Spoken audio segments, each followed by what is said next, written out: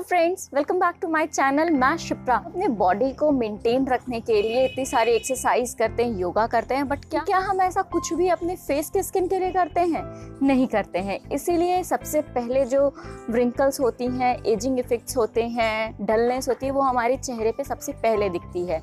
तो आज मैं आप लोगों को बताऊँगी कि आप कौन सी ऐसी चीज़ें हैं जिसको आप रोज़ पाँच से दस मिनट यूज़ करके अपनी स्किन को ग्लोइंग यूथफुल रिंकललेस या एंटी एजिंग टाइप बना सकते हैं।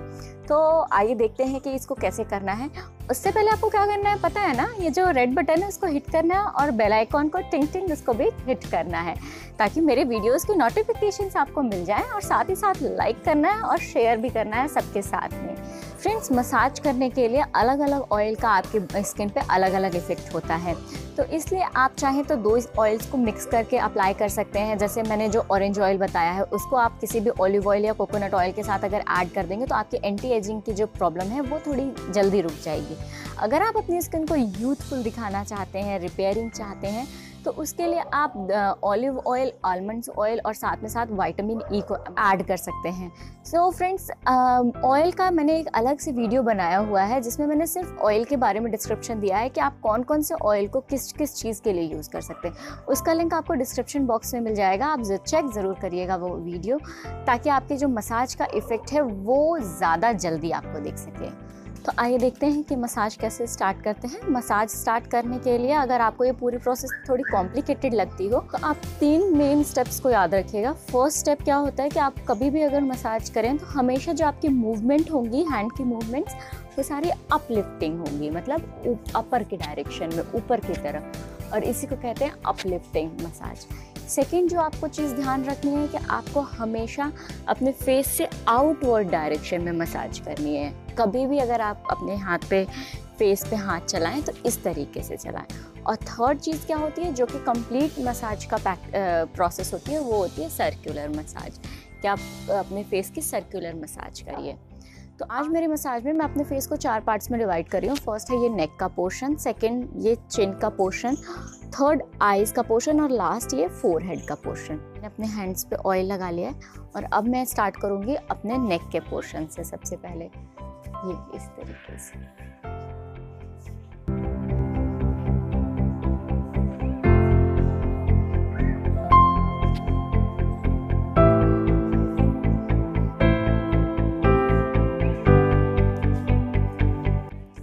सबको पता होता है कि हमारे नेक के पोर्शन में फैट मसल्स बिल्कुल भी नहीं होती हैं तो इसलिए यहाँ के मसाज करना बहुत ज़रूरी होता है ताकि यहाँ के कोलेजन टिश्यूज़ जो होते हैं वो अच्छे से बने रहें।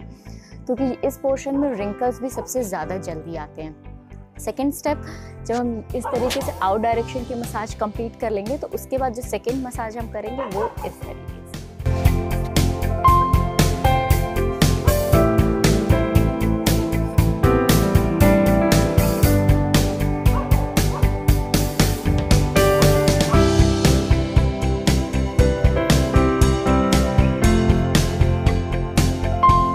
ये मसाज करने का रीज़न ये है कि हमारे इस एरिए में लिम्फेटिक टिश्यूज़ होती हैं जो कि हमारे टॉक्सिन्स को ब्लड फ्लो के थ्रू बाहर ले करके जाती हैं।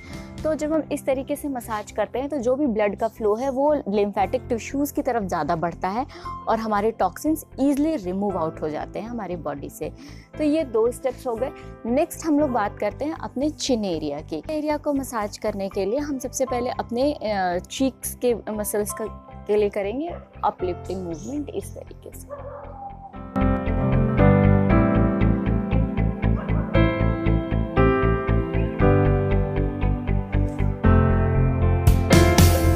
इसके बाद हम ये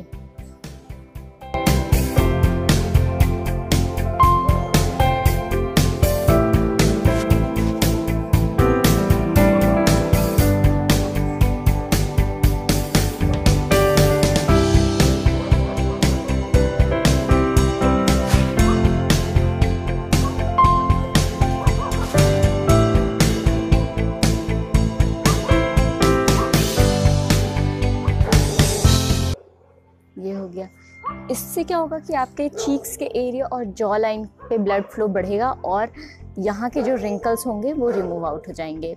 नेक्स्ट हम पढ़ेंगे अपने लिप्स के एरिए पे। को पता है कि ये जो लिप्स के कॉर्नर्स होते हैं, आपने बहुत सारे लोगों को देखा होगा कि ये कॉर्नर्स कुछ लोगों के ऐसे नीचे की तरफ़ हो जाते हैं या फिर ऊपर की तरफ़ लिफ्ट हो जाते हैं। वैसे इसकी एग्जैक्ट जो पोजीशन होती है वो स्ट्रेट रहनी चाहिए स्ट्रेट तो इसके लिए और इस लाफ लाइन को रिमूव करने के लिए हम जो स्टेप यूज़ करेंगे, वो होगा।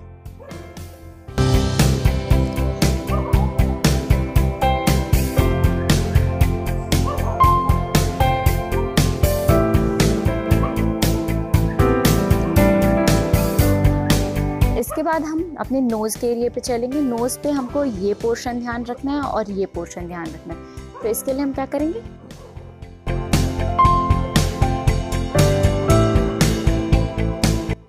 इससे आप देख रहे हैं कि आपकी जो लाफ लाइन है, इसके ऊपर भी वर्क हो रहा है।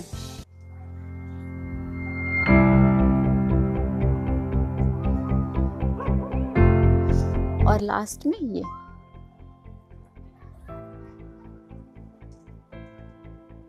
यहाँ से हम इसको पकड़ेंगे और इस तरीके से।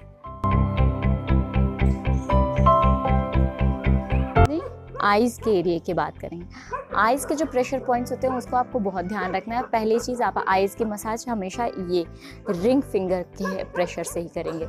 इसको करने के लिए आपके जो आइज़ के पास, आपके आइज़ के पास जो पॉइंट होता है जिससे टॉक्सिन्स रिलीज़ होते हैं, वो यहाँ पे होता है। तो हमको अपना सारे ब्लड का फ्लो यहाँ पे लेकर के आना है। तो हम हमेशा अपनी आइज़ की मसाज इस तरीके से करेंगे। ठीक है? आइज़ में कभी भी हम आउटवर्ड मूवमेंट नहीं शो करते हैं, क्योंकि हमें सारा का सारा यहाँ पे ब्लड फ्लो लेकर के आना है। तो हम इस तरीके से अपनी आइज़ की मसाज करेंगे। तो इसके लिए हम अपने ईयर्स थम्स को यहाँ पे रखेंगे और ये फिंगर्स यहाँ पे। ये फिंगर्स यहाँ पे और अब ये ऐसे।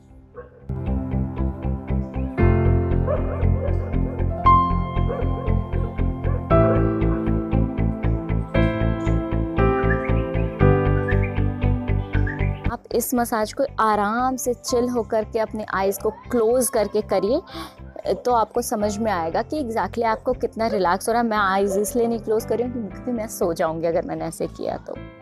और उसके बाद नेक्स्ट क्या कर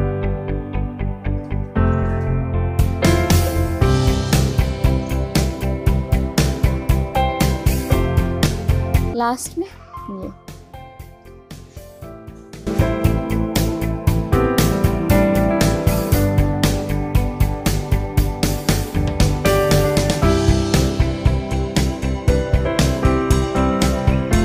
अब ये हमारा फेस कंप्लीट हो गया, अब हमें अपने फोर हेड की ओर जाना है। तो फोर हेड पे यहाँ के जो रिंकल्स होती हैं, इनको रिमूव करने के लिए हम यहाँ पे सर्कुलर मसाज करेंगे विद वन फिंगर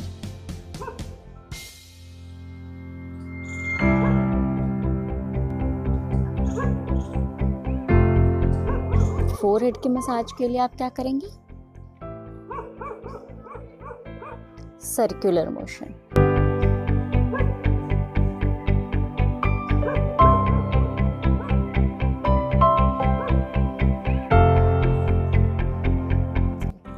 लास्ट में ये